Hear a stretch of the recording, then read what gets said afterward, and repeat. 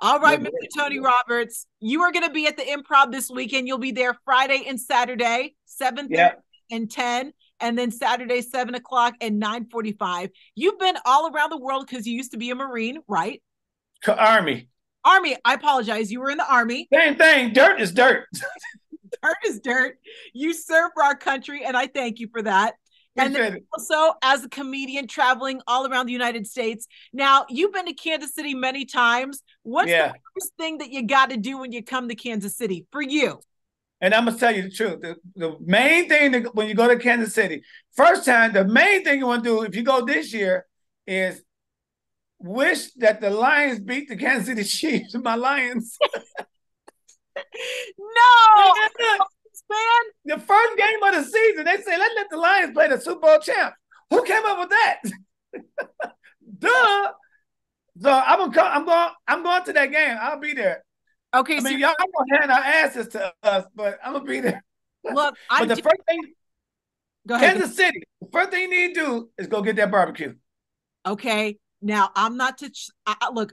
I'm gonna ask you, but I don't want to start any Kansas City barbecue beefs. Where do you go to get your barbecue? You know what? I got a couple people that bring it to me. And I've been to one spot. I can't remember the name of it. I don't want to get it wrong. I can't remember the name of it. Arthur Bryant's, Oklahoma Joe's, Say, the- say it's a it's a Joe in there somewhere. Gates. That's what it is. Okay, I think that's it. I'm talking about. I love. I like smoked. I like grill cooked. I'm a grill person. But man, Kansas City got barbecue. we do, we do. They Where- got some good barbecue. You're from the South. I'm from Detroit. Detroit. I'm sorry. For some reason, I thought you were from Alabama. I thought you told me that. No, I've been to Alabama a hundred times. My bad. Okay, so you're from I'm from Detroit. I lived in New York for um, like six years, almost seven years. Then I moved to LA for a little while. I don't know how many years, four or five years. I met my wife in Sacramento, California, and I've been there for 15 years. Okay, so LA, Yeah. you're basically a LA native now. But what Yeah. do you know Kansas City shows you love when you come into town? So we're excited to see you. Yeah, no, I'm, I'm, everybody know. You know me. You know, if you ain't never heard of me, you know me now. Welcome out your coma, because I've been out here a minute. I don't know where you been, but they know every time I come, I give 110%. I don't, I don't, I don't try to cheat them out their money, their laughter. And I don't think about nothing else when I'm on stage, but at that moment. I don't think I'm famous or nothing, but I'm bringing it. I bring it every time. Yes, you do. Now let me tell you, I went to the tour when you were with Katt Williams. I Oh, yeah. was- I died in my seat. Like I could, I don't know what you were talking about, but I was like sweating and crying at my seat. And I, me and the ladies next to us, like we were just, we we lost it. And so I'm telling people, like, do what you need to do. Go to the bathroom before, wear your depends, make sure your wigs are secured tight because you really do bring it. Hey, because you know what? When I got on that tour, we did 52 cities. And Kansas City was one of the, I told them, when you go to the, the Midwest, they receive comedy a lot different than other people. A lot of people in New York, a lot of people in LA, Atlanta, you get a lot of people in the audience that's already inspiring to be something. So they feel like they're, you know, they're famous or they're, you know, It's. Uh, VIPs, you know. But when you go to the Midwest, we we VIPs, but we really grab comedy and, and take it in. So I knew I had to go ham on them in Yeah. Kansas City. So Yeah. I, I can't wait to see you at the improv again, improvkc.com to get your tickets. Now, you said that you've been out here for a minute, which we, I mean, the people who know, know. And I saw the other day that BET Comic View was making a comeback, a reboot, whatever you want to call it. And I know that you're no stranger to the Comic View stage. How do you feel Yeah. about that reboot?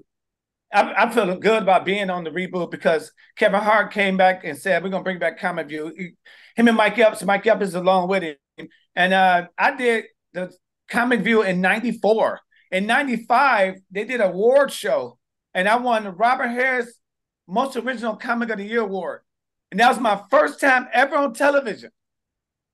And I was bananas about that. So I did seven more Comic View. I did like eight seasons of Comic View. Yeah. But when they said we're doing a reboot, and they they called my agent, said we want Tony Roberts to do a 30 minute piece. Oh, Cause that was that's how black people got started coming out. And we had the avenue. That was the only avenue we had for the world to see us. Yeah. It was just nightclubs and word of mouth and flyers. And, and we really got started. Def Comedy Jam came out, but it, it, had that one little that one, two, three seasons. And then bam, Comic View was was was somewhere to watch when you didn't want it too raw. Right. Def Jam was raw, but family Comic View was family oriented. So it, it was bigger than Def Jam.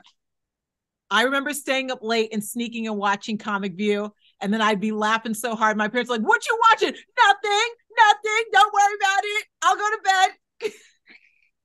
I get so many kids. I get so many kids, oh, bigger than me. Come on. I was a kid and I wasn't allowed to watch you, but I sneak and watch you. Don't say that to me. You grown. it made me older. Look, we're grown now. We got our own money. We're gonna go see you this weekend at the improv. Now, um, you said that you know Comic View was a different way for you to be exposed to different households. What did it do for your career? It, it took me now when I go show, when I when Comic View was out, I was just a feature act. But when I got out there as a feature act, it was it, it just people were just I, I got to a headline spot faster mm-hmm. because I did it every year and I hit them every year. So now everybody wanted to come see me. So it elevated. Right now, the the it came a long way comedy have. Right now, it's all about the internet. Yeah. So the internet guys got the you know a couple of million followers, right? But we have fans. Followers are different. Followers just want to be there. They don't care if you're that funny or not. You know, oh, fans, fans don't have time for that. They're engaged. Fans are older. They work. They bought these tickets. You better get down. That's right. That's right. So yeah. So now I got followers and fans. Very good. But Comic View, Comic View is the reason a lot of comics right here today, this headliner, made their name off Comic View.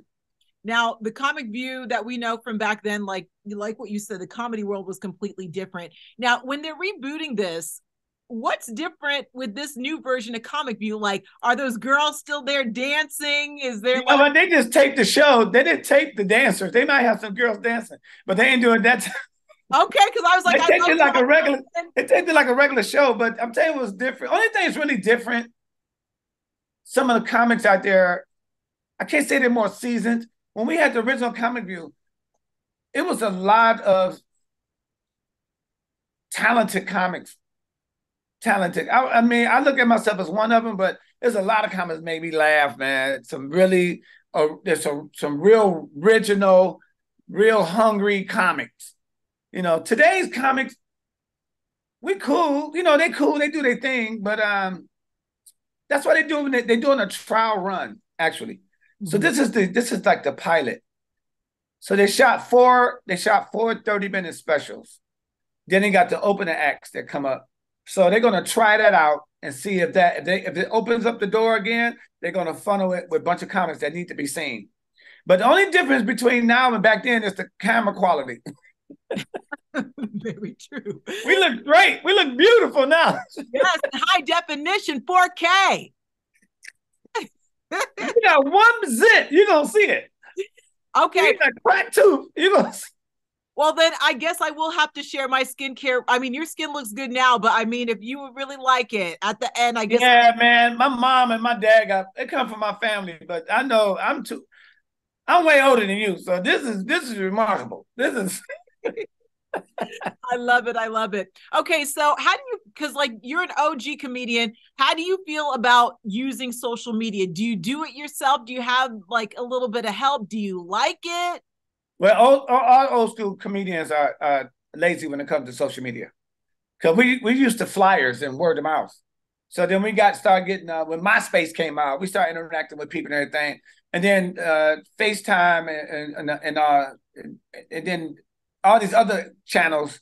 It's just it's just a lot of internet people got their way because they weren't they weren't they weren't comedians, so they weren't busy going out there on the road. So they're busy at the house doing all kind of antics, and they get a lot of followers. And then you know, so the old school comics, we not we don't oppose of it, but we just we're not as on it like the young people. It's just not our, our way. So I have a couple of people in my camp that they they keep up with me. You know, they put everything out. I'm doing something, they put it out.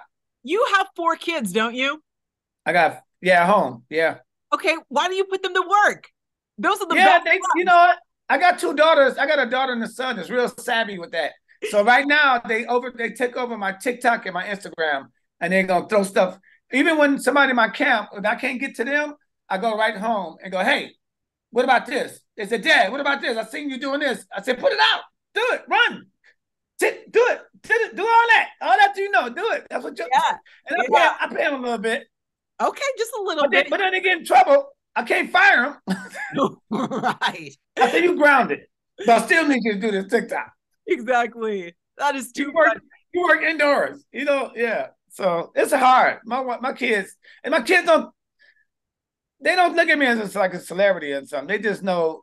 They when they tell their friends, "Oh, my dad does this." They said, "Really?" and blah blah blah. But when I'm at home, they go, "It's just dad," you know. Or, or they're on the road with me somewhere. They don't look at me like that. You know, I wish they would, so they pay attention to start doing what I say. But it ain't it ain't working. It's coming. They will appreciate it one day.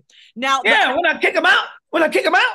now I'm the Excuse me, celebrity, Prince, King of Comedy. Can we come home? Oh no. That's too funny. Now, the other day, Steph Curry, he dropped like I don't know what it is, a single, a mixtape, and I know you got bars. How Oh, do you feel about Steph Curry, like what he's working with? He can can he step toe to toe with you? no, no way. He knows it. He, and he's, he's a friend of mine.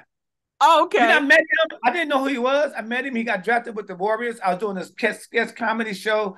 We needed volunteers on stage, and he was in the front row with two other guys. I said, "What's up, big man? Come on up here, up here." He stood up like this high. I said, "Dude, you should be playing ball." And then somebody said, "That's Steph Curry. He just got drafted." I'm like, "Thank you," because I don't watch basketball like that. So he, we became. I started doing uh, golf tournaments with him. Mhm. You know, and then we became friends. Okay. Yeah, so I know y'all seen his little bars, but he can't mess with booty mouth. You need an Altoid IV, a Listerine shake, a Febreze mouthpiece, or a right guard cake. Throw cologne on your throat, put a jacket on your tongue, put your teeth in the cleaners. You got booty mouth, son. Ooh. Boom. Boom. The video is out. Oh, the video is out. On what platforms mm-hmm. can we Instagram and Facebook. Instagram and Facebook? I'm, Okay. I'm getting ready to throw it on Twitter now. Okay, so have you worked on well, it's not Twitter anymore. Remember, it's X. I mean, it's, yeah, yeah. Whatever Elon Musk wants it to do, we'll just. It's going on TikTok. TikTok. Okay, more Twitter. It's X. X. Now, um, if Booty Mouth had a viral dance to go with it, what would it be?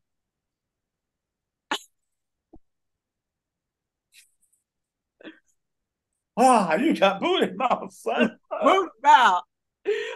Okay, we'll we'll work on the moves a little bit. Yes, I got booty. I got about three or four videos out. I'm still making some more videos. Okay, so Yeah, I got, got songs. I got some songs. Got stomach gets a new pretty, but it's really the other one. It ain't. I gotta say pretty because keep it clean. Stomach gets the new pretty. okay, It rhymes with pretty. okay, and then what's the other one? the new pretty. Stomach the new pretty. I don't care if you're 50. The stomach gets the new pretty. Okay, you, got, some other. I got a lot of. I got stuff coming out, man. Booty Mouth, stomach is the new pretty. What's I'm revamping. You need your ass beat. Y'all come on, check it out. Check out the new lyrics when you need your ass beat. okay? Now, who's the okay? When you think of one person that needs their ass beat, that's like in the trending topics going on right now. What's that one person? Anybody who wears dress shoes or white socks, you need your ass beat. Dress shoes or white socks. Okay, they need to step their game up. You need your ass beat. You know, right now, I just think the whole people that, that all the producers of the Kardashians need to ask me. This is a this is this is a damn shame. I, I ended up watching one episode recently, man. It is it's stupid. It is. It's gotten a little bit out of hand. At first, it was fun watching the family, and now it's just like, look at how rich we are. I know. One thing like people like to do, people will go all day and stare at anybody with money and see what they do, how they live. Right. If you're rich, somebody gonna watch you. It can be boring, but they're gonna watch it. But I'm uh, look. I, I I'm one of those people that tune in. I've seen every single episode of the I know you did. I know you Maybe did. it's because I have a boring life. I don't know what it is. I'm addicted. The dumbest person in the whole show that's ever been since the show been on is the brother. And he's not even on anymore. He's not even on no more. He an idiot. But what he need to do is write four books about the whole family. He does. More money, more money. Right. what? And and and and get the grit, get the dirt out. I agree. If the cameras don't show, that boy, they won't talk to him ever again. But they, so they they feed him money to keep him comfortable. But no, nah, he's a, he's a he's the worst. I, I agree. It's a look what they did to their daddy. He a woman now. Look what they did to people. This is what they do to people. It's the Kardashian curse that they have with the men. I said, man, Lance Wills talk about that in his set. Don't go in that house. Yeah, but you Hope know, we do it this week. People he say don't go. He name everybody in the house and they name how they came out. It is bananas way he do it. People keep on trying their luck, but hey, that if they want to do it, go ahead. Do what you want to do. Tony, what else can we look forward to you in 2023? I almost said 2024, but the year is halfway over. But what else do you have to cooking up that we can look forward to? I'm shooting two 30 minute specials back to back. Oh, okay. Yeah, one is called Faith Family Funny. It's all about my family in Detroit, my family here in Sacramento, and every all that family, everybody, a lot of them in detail. Just I'm going to cousins, cousins, father, mama, grandmama, wife, kids. It's called Faith Family Funny, and the other one is called I Swear for God. Everything that get on my nerve that you just close to getting it. I swear for God, if you don't get out my way. My, and my family say that all the time when we was young. They say, man, I swear for God. That's gonna be my next my, my I gotta get the frustration out. Okay. Well, I mean, yeah, I'm glad that you're channeling it to go somewhere positive. Yeah. So I'm about to shoot those in, immediately. Next year, will that drop or like end of this oh, year? Oh yeah, no, it's gonna drop. One's gonna drop this winter. The other one gonna be the beginning, the beginning of the year. Okay. Well, we look. Yeah. So look out for that. We'll look out for that. We look forward yeah. to. It. We look forward to this weekend with you at the Kansas City Improv. ImprovKC.com to get your tickets. Anything else you want to let us know? Holla at your boy. Holla, holla, holla. We taking everybody. Ladies, come on out. If you handsome, I don't care. Come on out. You look good to somebody. if you got a if you got an aunt in the hospital bed, they got a ramp, bring her. If your kid's too small, you ain't got no babysitter, leave him in the car. Everybody doing it. That's how you grew up. That's how you grew up. It's gonna be a hot weekend. They did used to leave us in the cars back in what? the day. Yeah, look, Hennessy and not going ain't gonna kill nobody. Right. Man, get your ass out to that comedy show. You deserve to laugh. That's right. We all needed a little bit of laughter. So get your tickets, improvkc.com. Anything else, Tony? I love y'all, KC. I'm on my way. That's all I got to say. All right. We look forward to you, Tony Roberts. Get your tickets, improvkc.com. Thank Shout you. Shout out to Amanda, KC's general manager. Let me tell you, man, that girl, I go to clubs around the country. Just one of the best managers in the country. She gets it done. So when you go in there, when you go in there this week and say, Can, is Amanda here? Can you tell her we say hi? Oh, she's That's gonna get mad. Amanda is too busy to do a meet and greet. Yeah, she ain't doing a meet and greet. She ain't, she ain't no people person like that, but she she do stuff for other people, but she ain't gonna get it. That's right, but we love Amanda. All right, Tony. Good to see you. I'll see you this weekend. All right, thank you, babe.